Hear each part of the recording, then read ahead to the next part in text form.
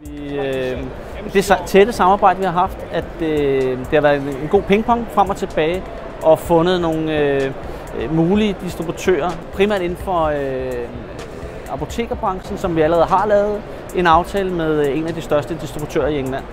Øh, og det har været en sådan ligesom ongoing proces øh, frem og tilbage til at finde de rette. Og der har det været yderst professionelt den måde, som det er blevet taktet på øh, fra ambassadens side, og også øh, den måde, som det er blevet håndteret efterfølgende, og ikke bare blot her er en mulig potentiel øh, distributør, men også efterfølgende.